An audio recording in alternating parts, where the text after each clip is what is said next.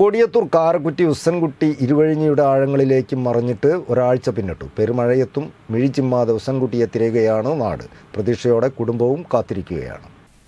കൊടിയത്തൂർ കാരക്കുറ്റി സ്വദേശി C K ഉസ്സൻകുട്ടി ഇരുവഴിഞ്ഞിപ്പുഴയുടെ ആഴങ്ങളിലേക്ക് മറിഞ്ഞിട്ട് ഒരാഴ്ച പിന്നിട്ടു. കഴിഞ്ഞ ചൊവ്വാഴ്ച വൈകുന്നേരം നാലു മണിയോടെയാണ് തെയ്യത്തുംകടവ് പാലത്തിന് സമീപത്ത് നിന്ന് ഉസ്സൻകുട്ടിയെ കാണാതാവുന്നത്. എങ്ങനെയാണ് ഒഴുക്കിൽപ്പെട്ടത് എന്നതിനെക്കുറിച്ച് ആർക്കും വ്യക്തമായ ധാരണയില്ല. അന്നു മുതൽ തന്നെ നാട്ടുകാരും അഗ്നിരക്ഷാ സേനയും ഇദ്ദേഹത്തിനു വേണ്ടി തിരച്ചിൽ നടത്തുകയാണ്.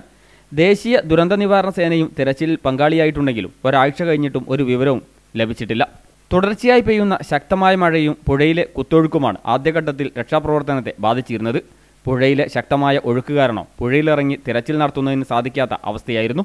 ആധുനിക ഉപകരണങ്ങളെല്ലാം അഗ്നിരക്ഷാ സേനയുടെയും ദേശീയ ദുരന്ത നിവാരണ സേനയുടെയും പക്കലുണ്ടെങ്കിലും പ്രതികൂല കാലാവസ്ഥയും പുഴയുടെ രൗദ്രഭാവവും മൂലം ഉപയോഗിക്കാൻ കഴിയാത്ത അവസ്ഥയും പ്രതിസന്ധി സൃഷ്ടിച്ചു. മുങ്ങൽ വിദഗ്ധരടക്കം തിരച്ചിലിനെത്തിയിരുന്നുവെങ്കിലും നിരാശയായിരുന്നു ബലം.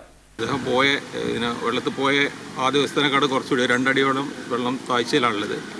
ഞങ്ങൾ ഊർക്കടവ് വരെ തെരച്ചിൽ നടത്തി. മുങ്ങുന്ന ആൾക്കാരൊക്കെ ഉണ്ട് ഇടയ്ക്കിടെ ചെറിയ വള്ളങ്ങളുണ്ട്. പിന്നെ സന്നദ്ധ സേനാംഗങ്ങളുണ്ട്. ഊർക്കടവ് വരെ പോയി ഞങ്ങൾ തിരിച്ചു വന്നു. ഫലപ്രാപ്തിയിലെത്താൻ കഴിഞ്ഞില്ല. എങ്കിലും ഞങ്ങൾ ഒരു ആറു മണി വരെ പിന്നെ പ്രയത്നിക്കും. ഫലപ്രാപ്തിയിലെത്താൻ കഴിയുമെന്ന് വിശ്വാസമുണ്ട്.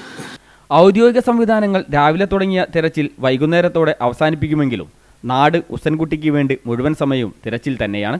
ഇരുവഴിഞ്ഞിപ്പുഴയുടെ വിവിധ കടവുകളും പാലങ്ങളും കേന്ദ്രീകരിച്ച് സംഘങ്ങളായി തിരിഞ്ഞ് രാത്രിയിലും നാട്ടുകാർ തിരച്ചിൽ നടത്തുകയാണ്.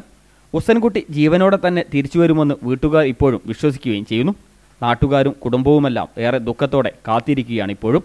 കണ്ടെത്താനുള്ള തീവ്രമായ ശ്രമങ്ങൾ സന്നദ്ധ സംഘടനകളും പിന്നെ ഗവൺമെന്റ് ഏജൻസികളും അതിലുപരിയായി വിവിധ തലങ്ങളിലുള്ള എല്ലാ വിദഗ്ധരും ഒക്കെ വന്ന് ശ്രമിച്ചുകൊണ്ടിരിക്കുകയാണ്. ഇന്നും ഇപ്പോഴും ഒന്നും കൂടി കൂടുതൽ പ്രതീക്ഷയിലാണ് ഇന്ന് രാവിലെ തുടങ്ങിയിട്ടുള്ളത്. കാരണം കൂട്ടുകാരെ സംബന്ധിച്ചിടത്തോളം കൂട്ടുകാർക്ക് മാത്രമല്ല നാട്ടുകാർക്കും.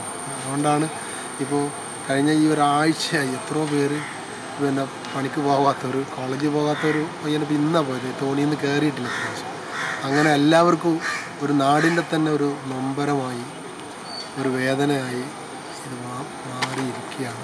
ഇരുവഴിഞ്ഞിപ്പുഴ കൂളിമാടിൽ വെച്ച് ചാലിയാറിൽ ചേരുകയും അറബിക്കടലിലേക്ക് പതിക്കുകയുമാണ് ചെയ്യുന്നത്. ചാലിയാറിൽ തിരച്ചിൽ നടത്തുകയെന്നത് അതീവ ദുഷ്കരമാണ്. അതിനാൽ ഇരുവഴിഞ്ഞിപ്പുഴ ചാലിയാറിൽ ചേരുന്നതിനു മുമ്പുള്ള സ്ഥലങ്ങളിൽ പാലങ്ങളിൽ നിന്ന് രാത്രിയും നാട്ടുകാർ നിരീക്ഷണം ഇപ്പോഴും തുടരുകയും ചെയ്യുന്നു. രണ്ട് ദിവസമായി മലയോര മേഖലയിൽ മഴയ്ക്ക് നേരിയ ശമനമുണ്ടായത് രക്ഷാപ്രവർത്തകർക്ക് ആശ്വാസമായിട്ടുണ്ട്. ഇനിയുള്ള ദിവസങ്ങളിൽ മഴ കുറയുമെന്ന നിരീക്ഷണം വന്നതോടെ തിരച്ചിൽ ഊർജിതമാക്കാനുള്ള ശ്രമത്തിലാണ് നാട്ടുകാരും അധികൃതരും. ക്യാമറമാൻ ജി എൻ ആസാദിനൊപ്പം സി ഫസൽ ബാബു സി പ്രാദേശിക വാർത്ത.